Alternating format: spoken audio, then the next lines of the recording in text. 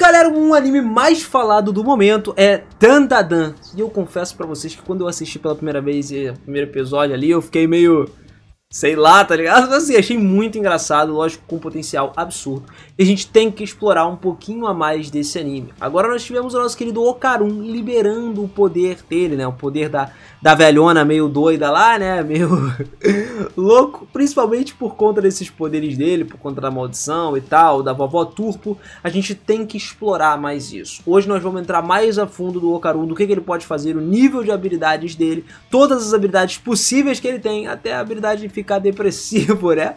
Quando ele tá na forma amaldiçoada. Brincadeiras à parte, vamos conhecer o verdadeiro potencial desse fanático por alienígenas aí, agora.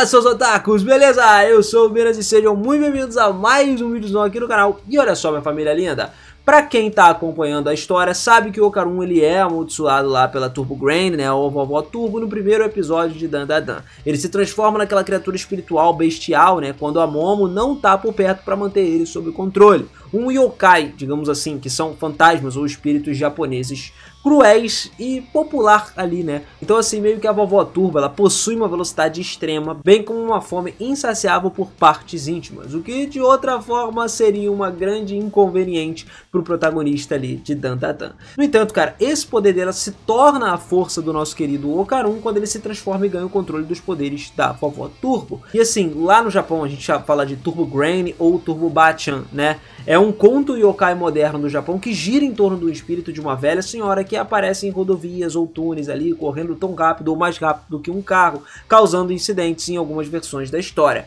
A personagem ela já é bastante popular no folclore moderno japonês e ela até apareceu em outros animes, como o caso de aconteceu lá em Mob Psycho 100, né? E quando o Okarun deixa ela assumir o corpo dele, aí ele ganha uma mandíbula com vários dentes e tal, enquanto se torna um pouco mais alto, uma postura um pouco mais animalesca, né? Nessa forma ele ganha o uso total de velocidade, força explosiva da própria própria vovó Turpo. Isso a gente vai falar um pouco mais tarde. E mesmo que ele seja um cara inexperiente com seus novos poderes, o Okarun ele coloca suas novas habilidades em uso já no segundo episódio, evitando ataques de alienígenas, né? Corta alguns dos dedos desse alienígena no processo, sem a ajuda da Momo, óbvio que ele não é capaz de manter o controle sobre o corpo, principalmente no início, o que leva a vovó Turbo a começar a assumir o controle dele, fornecendo um obstáculo um tanto quanto inconveniente, né? Quando seus poderes são necessários.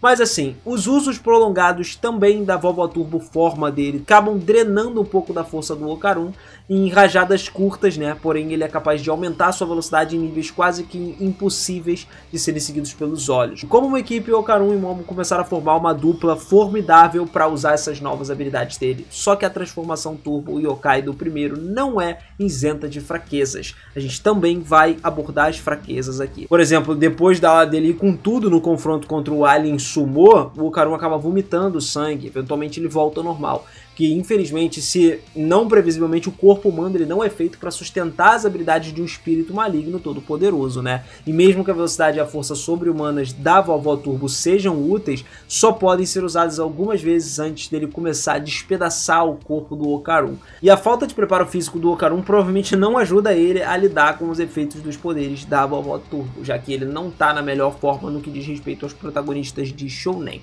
Mas galera, isso aí não é algo que não possa ser melhorado. Ainda assim, com o passar da história, as habilidades dele começam a evoluir. Então, vamos conhecer aqui. Começando falando o seguinte, as habilidades e os poderes, né, são divididas em dois tipos diferentes. Habilidades naturais e habilidades sobrenaturais. Ele tem uma habilidade natural básica, que é a proeza física dele antes da transformação, que ele consegue uma condição humana aprimorada. Como resultado, lógico, de muitos obstáculos paranormais que ele teve que superar, o Okarun ele começa a ostentar uma aptidão física superior que supera de um adolescente normal de ensino médio. Durante o teste de aptidão física lá, ele já completou uma corrida de 50 metros em 5,8 segundos, superando até a sua própria expectativa de 9 segundos. Ele lançou uma bola de handball de 35 metros, atingindo 3,6 metros no salto à distância. Ele conseguiu dar 80 passos no teste ali de passo lateral e completou 120 corridas de vai e vem, tá ligado? No geral, ele consegue superar o resto da turma dele ali e ainda mantém a resistência mais do que todos eles, né? Isso porque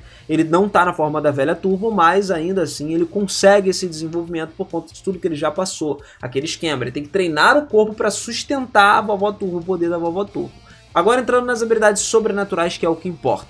O Okarun ele possuía o poder espiritual da vovó Turbo depois que apenas a consciência do yokai foi extraída do corpo dele por Seiko e também pela Momo. Inicialmente o Okarun ele só foi capaz de entrar nesse modo quando ele ainda estava amaldiçoado pela vovó Turbo e com a ajuda dos poderes de psicocinese da Momo, né, para poder suprimir a maldição ali da cabeça dele, permitindo que ele conseguisse controlar o corpo. Depois que os poderes do yokai foram acidentalmente deixados dentro dele, o Okarun ele se tornou capaz de entrar na transformação voluntariamente. Quando ele acessa esse poder, o cabelo dele começa a mudar, arrepia para branco, ele ganha algumas listras mais grossas no rosto, nos olhos dele, ele cria aquela máscara de dentes da mandíbula que ficou incrível, tá ligado? E por baixo das roupas, o corpo do Okarun, apesar de não ter sido mostrado pra gente, também recebe uma definição muito maior muscular, enquanto isso acaba forçando a postura dele a ficar um pouco mais corcunda. As unhas, as mãos dele ficam todas afiadas, pretas, e a roupa também escolhe usar uma forma totalmente diferente para se tornar muito semelhante a fogo.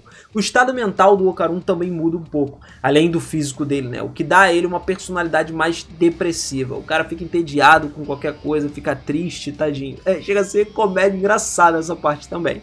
Mas, apesar de tudo, quando ele está nessa forma, ele ganha velocidade melhorada. Esse estado oferece a ele uma velocidade extraordinária da Vovó Turbo, que permite a ele correr incríveis 100 km por hora. O Okarun ele até se referiu a essa velocidade máxima aí como indo ao all-out, né, no total. E o ponto forte disso é que a velocidade e os reflexos aprimorados do Okarun, mano, permitem que ele desvie de uma enxurrada de notas musicais explosivas, de ataques. Depois dele assumir essa forma pela primeira vez, o corpo dele até reagiu rápido o suficiente para sair do caminho do ataque daquele monstro lá, o Flatwoods, que depois que chegou em alguns segundos perto de esmagar ele, tá ligado? Enquanto o caranguejo espiritual terrestre perseguia ele, ele até conseguiu cobrir algum terreno da cidade ali e conseguiu evitar que o espírito terrestre pegasse ele. Depois que Arya levou um golpe ali de Bamora, o Okarun conseguiu alcançar ela rapidinho numa distância considerável para salvar ela bem a tempo de ser atingida por outro ataque.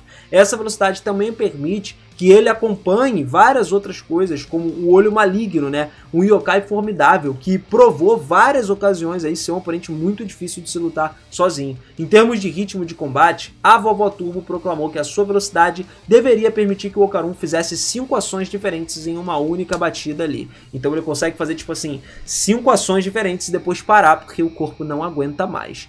Ele usa esse poder em combate justamente para colocar alguma distância entre os seus inimigos. E quando ele enfrenta inimigos ali no combate corpo a corpo, o Okarun ele confia na sua velocidade para fazer os ataques físicos rápidos que não davam ao seu oponente absolutamente nenhuma chance, não tinha uma oportunidade né, para contra-atacar. Com esses ataques assumindo a forma de uma série de agachamentos, né, de cabeçadas e tudo mais, quando ele está em parceria com os aliados, o Okarun ainda tem como usar essa velocidade para pular, mover eles para fora do caminho dos ataques que tinham sido recebidos, carregar eles nas costas também para alcançar alvos em movimento ou fazer uma fuga necessária. E depois de receber o treinamento da própria vovó Turbo para aproveitar adequadamente o poder dele, o Okarun conseguiu ainda melhorar o ritmo de combate dele nessas batalhas. E isso foi mostrado na batalha contra o Music Room Portraits, né, que é um outro inimigo que vai aparecer bem mais para frente, onde ele efetivamente usou a velocidade e os reflexos aprimorados para escapar das barragens de notas musicais que a gente já tinha falado e tal, relembrando o ritmo da música Hayashi e também derrotando eles com uma sucessão de cinco cabeçadas de uma vez tão rápida que deixou as imagens todas ali residuais no final das contas. E com o All Out também veio o aumento na força das pernas do Okarun. Ele é capaz de lançar uma grande força ali como se fosse um míssil, que era um método preferido de ataque dele. A velocidade que carrega era tão grande, forte o suficiente para fazer o Okarun passar por uma multidão de cidadãos possuídos ali, inclusive matar o Acrobatic Silk, que era um yokai de corpo maior, né, fazendo com que ele caísse para trás, ficando gravemente ferido ali, ficar de pé por um curto período de tempo. O mais incrível é que o Karun ele foi capaz de se dividir o corpo do gigante, que é o Serpod, né, que aparece também, no meio, sacou? E enquanto fugia do caranguejo espiritual terrestre, ele também usou o all out dele, que era o máximo da velocidade, para manter a si mesmo e a Momo flutuando no ar por tempo suficiente para pousar no solo da cidade, fazendo com que as pernas dele girassem ao redor do corpo como se fossem um helicóptero, sacou? Então é muito, muito, muito bom. Só que, assim como habilidades boas, tem uma fraqueza também, tá? o Okarun ele é limitado a usar esse all out por apenas dois sprints, já que a velocidade sobrenatural intensa coloca muita pressão no corpo humano dele. E quando o limite é atingido, o Okarun acaba voltando ao normal e fica muito mal, inclusive deixa ele sem conseguir se mover por um período de tempo. Só que depois de mais treinamento para se adaptar a essa forma, o corpo do Okarun acaba não doendo mais depois de atingir o seu limite. Mesmo que essa desvantagem acabasse podendo retornar, né, se ele ficasse fazendo isso por muito tempo. O Okarun ele não consegue nadar também, já que a vovó Turbo não tem a capacidade para poder fazer isso. Então, no final das contas, não adianta ele ir para a água. Aí ele também desbloqueia a durabilidade aprimorada, cara. O Okarun ele também ganha um aumento de durabilidade no corpo, porque ele é capaz de resistir a todos os seus próprios ataques de lançamento, né, que ele se joga, e suportar também ataques poderosos do oponente, como o Olho Maligno. Ele ganha força de mordida aprimorada por causa daquela máscara bocal que ele tem, né? Que, cara, isso dá a ele uma força imensa da mordida como se fosse um tubarão, já que ele é capaz de arrancar todos os cinco dedos da mão esquerda do monstro dos Flatwoods lá que ele enfrentou no episódio 2. E o detalhe engraçado é que algumas outras habilidades que ele tem não são tão proficientes assim, mas são boas, né? Tipo o teletransporte de fios telefônicos. Além da velocidade melhorada, o Okarun ele também recebeu a habilidade de, da Vovó Turbo né, de se teletransportar ali através dos cabos telefônicos. Para executar essa habilidade, o Okarun tem que viajar ao longo do campo magnético em forma espiral né, do fio telefônico, fluindo ao redor da corrente e continuar se movendo usando a imensa velocidade da vovó Turbo também. Ele é capaz de aplicar essas habilidades de transporte de linha telefônica numa batalha. Quando ele continua correndo lá, né, depois de ejetar de um fio telefônico, a imensa velocidade do Okarun aumenta, permitindo que ele ataque os seus inimigos num piscar de olhos, e quando ele faz com essa velocidade aumentada, o dano é maior. Por exemplo, durante uma batalha contra Kur, ele foi capaz de derrubar instantaneamente vários inimigos antes de qualquer um deles pudesse reagir, numa uma série de colisões que ele teve. Usando um All Out também, ele tinha sido amplificado por essa velocidade, o Okarun ainda foi capaz de destruir completamente o alienígena do traje espacial com uma única colisão antes que ele pudesse atacar Momo no final das contas. Temos pontos fortes e pontos fracos dessa habilidade. Mesmo que demorasse um pouco para chegar ao local desejado com isso, o Okarun ainda era capaz de se teletransportar instantaneamente para o local pretendido se ele atravessasse uma linha telefônica ativa feita por uma pessoa de onde ele desejava ir. Essa habilidade também ajudou, inclusive, ele a acelerar uma imensa velocidade do Okarun quando ele ejetou de um fio telefônico e continuou a se mover, sendo tão rápido nos seus movimentos que pareciam semelhantes a um raio, tipo assim, criando ondulações aéreas e quando ele viaja por um fio telefônico, o Okarun também acha difícil chegar ao destino dele pretendido quando tem várias linhas telefônicas para atravessar, tipo, vários sistemas, né, vários caminhos diferentes. Ele também não consegue ficar ali dentro do fio telefônico por um período muito longo de tempo por conta do campo magnético em espiral que acaba ejetando ele para fora muito rápido. A travessia também é interrompida né, se o seu oponente cortar o fio telefônico em que ele estava. Ele acaba tendo que sair e sendo ejetado desse fio.